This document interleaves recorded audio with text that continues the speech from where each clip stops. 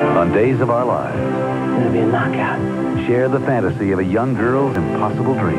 Frankie, it's not the guys in my class that I want.